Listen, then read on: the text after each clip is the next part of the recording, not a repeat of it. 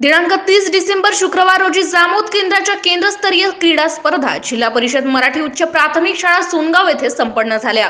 सर्वप्रथम क्रांतीज्योती सावित्रीबाई फुले यांच्या प्रतिमेचे पूजन शाळा व्यवस्थापन समिती अध्यक्ष सुनील खवले यांच्या हस्ते करण्यात आले. या प्रसंगी शाळा व्यवस्थापन समिती सदस्य समाधान भगत शाळेचे मुख्याध्यापक ताडेसर जामोद केंद्राचे केंद्र प्रमुख नितीन सातव सर व इतर सर्व शाळांचे मुख्याध्यापक शिक्षक व स्पर्धक विद्यार्थी उपस्थित होते. क्रीडा स्पर्धेचे उद्घाटन शाळा व्यवस्थापन समिती अध्यक्ष सुनील खवले यांच्या हस्ते कबड्डीच्या प्रांगणात श्रीफळ फोडून करण्यात आले. मुले आणि मुली यांच्या दोन्ही गटातील कबड्डीचे सामने घेण्यात आले.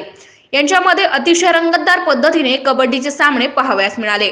त्यानंतर विद्यार्थ्यांचे शंभर मीटर व दोनशे मीटर धावण्याची स्पर्धा संपन्न झाली. दुपारी सर्व विद्यार्थ्यांना खाऊचे वाटप करण्यात आले तसेच विविध सामन्यांमध्ये विजेतेपद भिंगारा पांडा पिंपळ सुणगाव व जामोद शाळेच्या विद्यार्थ्यांनी पटकावले. खेडी मैदान खेडीमेळीच्या वातावरणात क्रीडा सामन्याची सांगता करण्यात आली. एमसीए न्यूज करिता गजानन सोनटक्के सुणगाव